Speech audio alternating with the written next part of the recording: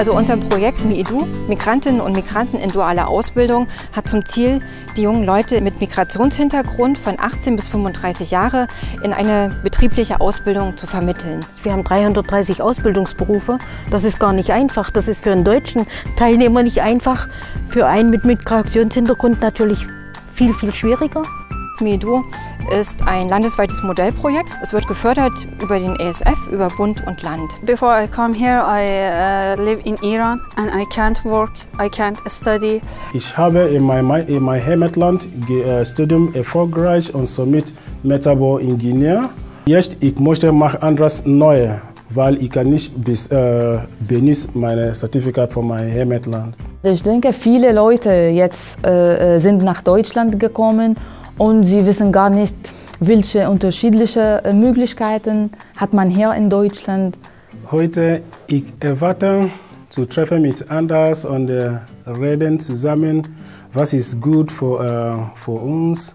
Ich glaube, dass äh, Imidu kann mir helfen, weil ich kenne niemanden hier in Deutschland und äh, ich kann nicht gut Deutsch sprechen.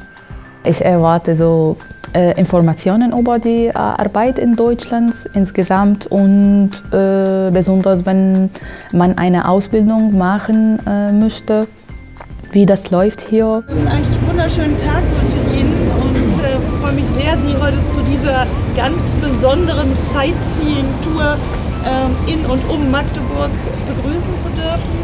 Ähm, Sie sind ja quasi auf dem Weg, sich zu orientieren für Ihre berufliche Zukunft in äh, unserem Land. Und ähm, ich glaube, das ist eine ganz tolle Möglichkeit, die Sie heute haben.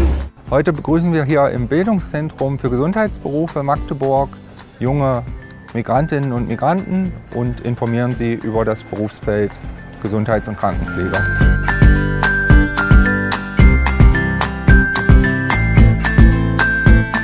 Daher haben wir einige praktische Stationen eingerichtet, wie zum Beispiel die Wundversorgung, moderne Wundversorgung, aber auch hygienische Aspekte betrachtet, wie die fachgemäße Reinigung der Hände.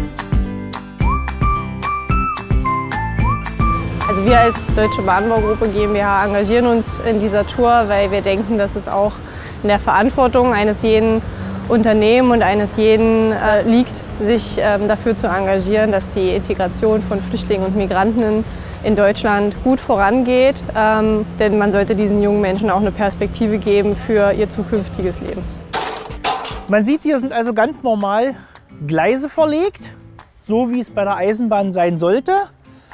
Und wir haben das so angeordnet, dass wir in der Lage sind, alle Tätigkeiten, die wir üben müssen, hier auch abwickeln zu können.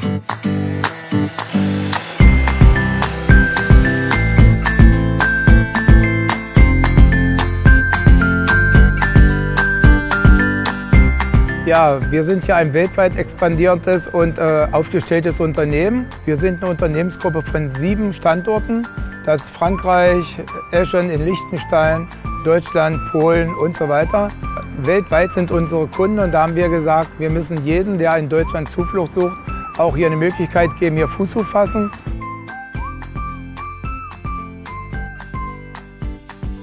Von den Jugendlichen, die sich bei uns für eine Lehrstelle bewerben, äh, erwarten wir natürlich ein sehr gutes Lernverhalten, Sozialverhalten vor allen Dingen. Wir wollen ein Miteinander, vor allen Dingen Teamarbeit muss ja geeignet sein äh, und ansonsten handwerkliche Fähigkeiten. Wenn das Mathematik- und Physikverständnis da ist, funktioniert das vollkommen. Yeah, the bus tour was uh, very good. I see people and they work and they explain for us what they do. Ich habe Vertrag für, für Ausbildung. Mit das Zertifikat ich kann, ich kann gehen in mein Land oder andere Land. Gerade bei der Unternehmensbustour äh, waren wir total begeistert, ähm, was für, für eine tolle Atmosphäre da entstanden ist. Wir haben drei verschiedene Unternehmen äh, besucht und das fand ich richtig, richtig wichtig. Ich möchte äh, Ausbildung machen, Industriemechaniker. Ich habe das gesehen mit Thyssen und ich möchte das machen als mein Beruf. Ich möchte Ausbildung machen bei Deutsche Bank. Also ich habe meine Ausbildung als Bankkauffrau äh, bei der Sparkasse angefangen.